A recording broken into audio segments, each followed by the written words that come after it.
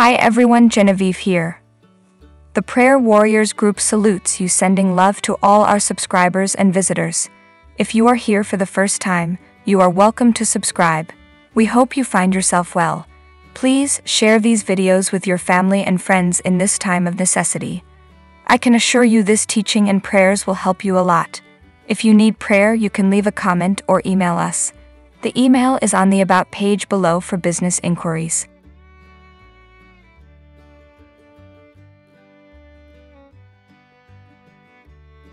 Dear family, I come here because the Lord needs our prayers.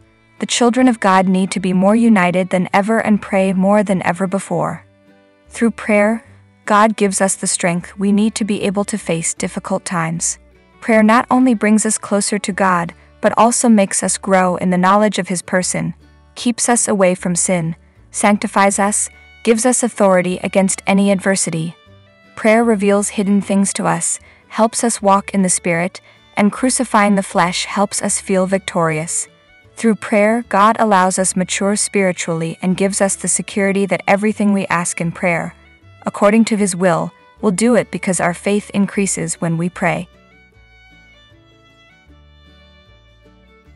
When the battle is long, we may feel weary and tempted to give up, but these are the moments when we must remember that we don't fight in our own strength. The weapons we fight with are not carnal weapons, and we don't dare fight in our own strength. Our weapons are spiritual. They are mighty through God in His strength, not ours. And as we learn to tap into the power of the Holy Spirit, enabling us to do what we otherwise couldn't do, we will begin to see victory in our lives. There are seven weapons of spiritual warfare. The Holy Spirit had the Apostle Paul write these words 2 Corinthians 10, verse 4. For the weapons of our warfare are not carnal but mighty through God to the pulling down of strongholds. Paul wrote in 1 Timothy 6 verse 12 to fight the good fight of faith. God desires his children to fight and live an overcoming life in the Spirit. To do this, I believe that every child of God must know and be able to use the seven weapons of spiritual warfare.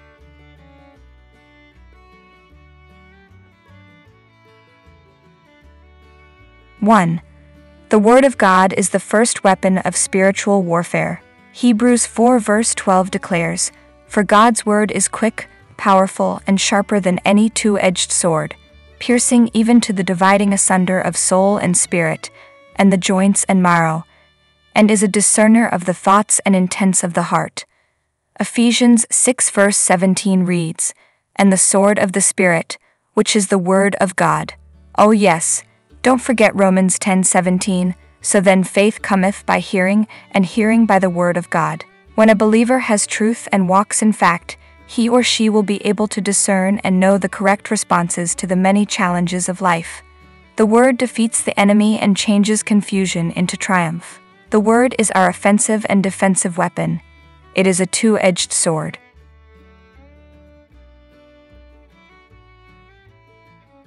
Two.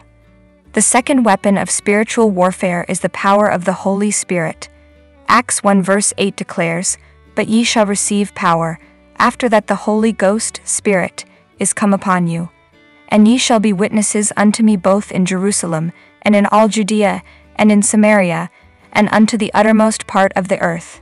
Jesus said in Luke 24 verse 49, But tarry ye in the city of Jerusalem, until ye be endued with power from on high.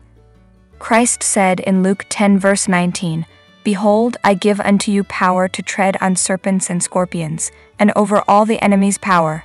1 John 4, verse 4 declares, Greater is he that is in you than he that is in the world.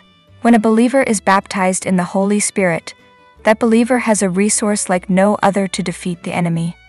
Satan has no weapon that can withstand the power of the Holy Spirit he does not understand the language of the Holy Spirit. The power of the Holy Spirit makes available the gifts of the Holy Spirit.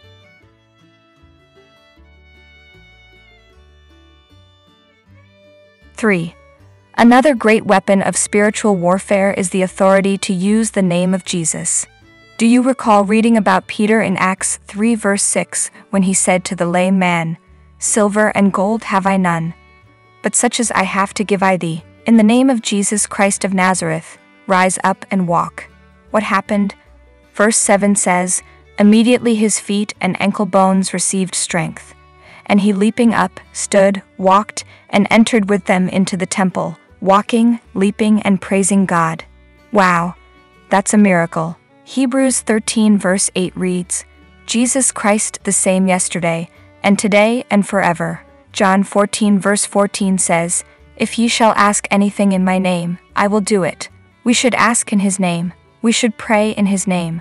We should expect miracles in his name.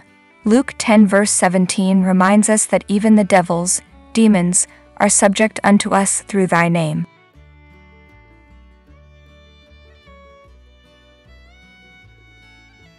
Four, there is incredible power in the prayer of agreement. In Luke 10, verse 1, Jesus, our Lord, sent his disciples out two by two. In James 5, verse 14, it reads, Is any sick among you? Let him call for the church's elders to anoint and then pray.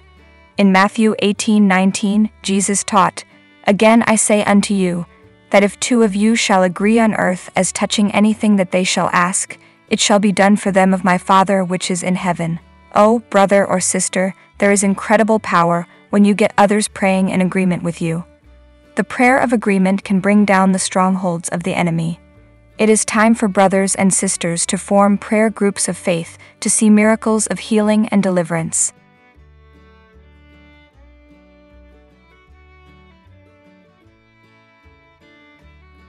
Five. I believe in the extraordinary ministry of angels. Hebrews 1 verse 14 refers to angels declaring, Are they not all ministering spirits, sent forth to minister for them who shall be heirs of salvation? Psalm 91 verse 11 reads, for he shall give his angels charge over thee, keep thee in all thy ways. Angels are mentioned 194 times in the Bible, with 99 times being in the New Testament. Angels helped Jacob when he was in great despair. Elisha would never forget the angelic intervention. An angel strengthened Daniel in the midst of great trial, and they showed up in the fiery furnace to help three Hebrew young men. How about Apostle Peter? He would never forget the angel that showed up while in Herod's prison and is written about in Acts 12. Angels were revealed to St. John many times in the book of Revelation. Thank God for the ministry of angels to the body of Christ. We need our guardian angels. Psalm 34, verse 7 reads The angel of the Lord encamps around them that fear him, and delivereth them. 6. Dearly beloved, we must not forget the power of praise. Psalms 119, verse 164 says, Seven times a day do I praise thee because of thy righteous judgments, ordinances. David wrote in Psalm 34, verse 1, I will bless the Lord at all times, his praise shall continually be in my mouth.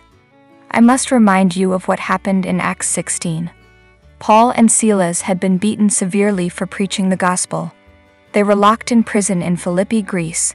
Luke wrote in verses 25 and 26 And at midnight Paul and Silas prayed, and sang praises unto God, and the prisoners heard them. And suddenly there was a great earthquake, so that the prison's foundations were shaken. And immediately all the doors were opened, and everyone's bands were loosed. You can't tell me that there is no power in praise to our God.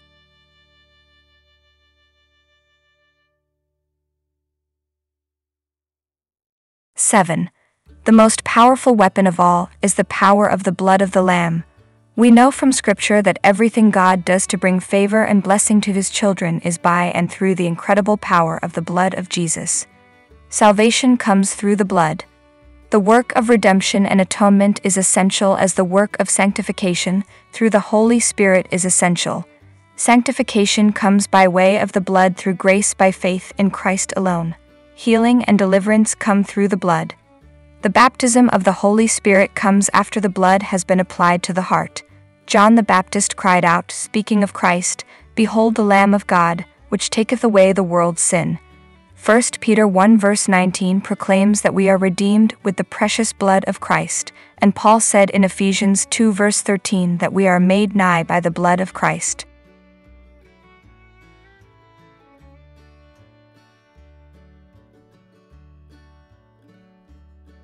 John wrote in Revelation 1 verse 5 that Jesus washed us and made us clean by the blood.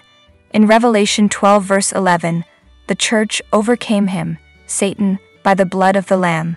We understood that the greatest weapon of spiritual warfare was focusing our faith on the cross and in the shed blood of Calvary for our salvation, the way of our sanctification, our healing, our deliverance, our peace, and our joy. With a complete understanding of God's Word, total faith in the shed blood of Calvary, and reliance on the Holy Spirit, we can enjoy a life of victory, peace, and joy in the Holy Ghost.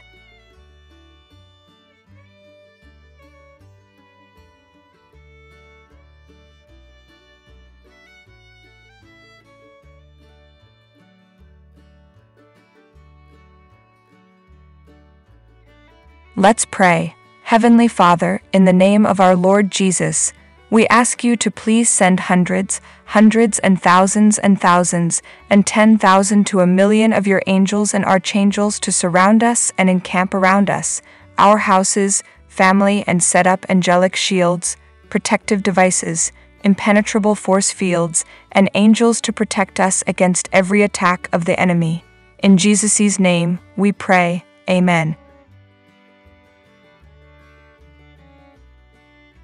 Please put upon us a spiritual camouflage the armor of God as we read in Ephesians 6 verse 10 and make us one of your secret warriors in the fight against all darkness. We also pray that you will make us invisible to the enemy. Please paralyze any evil spies and don't allow them to disclose any information about us. Stop all spies from seeing, hearing, or speaking. Let them be utterly confused, and have your mighty angels assist in trapping and dragging them into a deep portal where they cannot be released until the day Father God trash them all into the lake of fire. Please put upon us the armor of light, the breastplate of righteousness, the shield of faith, the helmet of salvation, and we hold in our right hand the sword of the Spirit, which is the word of God. We buckled around our waist the belt of truth for all the armor of God not falling down.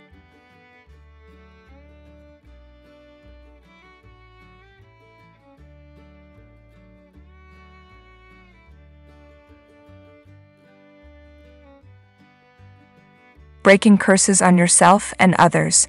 In the name of our Lord Jesus Christ, we break, crush, sever, dissolve, and destroy every curse, spell, psychic prayer, any attack put upon us by any entity, witch warlock, occult source, psychic source, machine, leviathan, reptilian, draconian, gray aliens, falling angels, insects, mind control, subliminal messages, an astral projection for implanting of curses over our city, town, house, family, we are free of wrong biblical interpretations, portable door, or any other entity as the Council of Thirteen, the beast, Lucifer, the Moloch, and Antichrist spirit.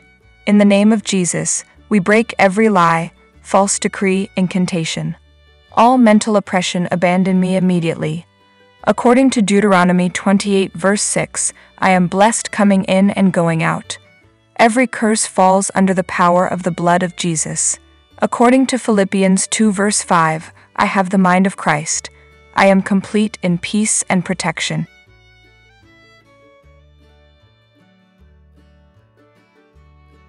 We confess that we walk in the supernatural wisdom of God, the Holy Spirit. According to Proverbs 2, verse 6, the Lord has provided me with wisdom, knowledge, and understanding. I have a sound mind. Think of God's thoughts. Dream of God's dreams. I am free from the spirit of fear in Jesus' name. Hear clearly, see, think clearly, and walk clearly. Father, we thank you for your love, peace, and freedom over my life now. We worship you and praise you that I am free in my mind. In Jesus' mighty name, we pray, Amen.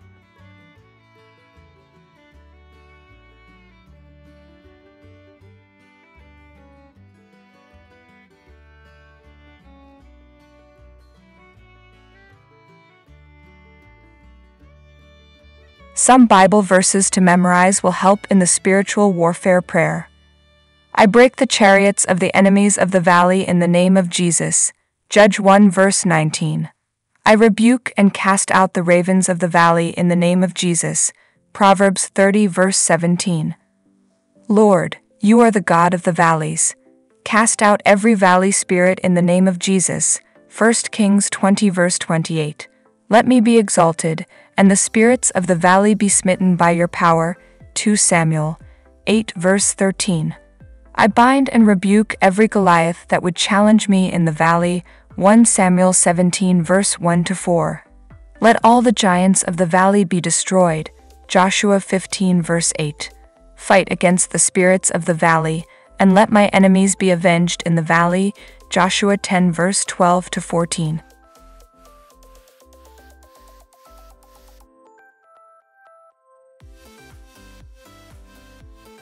Let every Achan in my life be destroyed in the valley. Joshua 7 verses 24 to 26. I lose myself from every Delilah spirit operating in the valley. Judge 16 verse 4. Let all my valley places be blessed in the name of Jesus. 2 Chronicles 20 verse 26. Open a door of hope in all my valleys. Hosea 2 verse 15.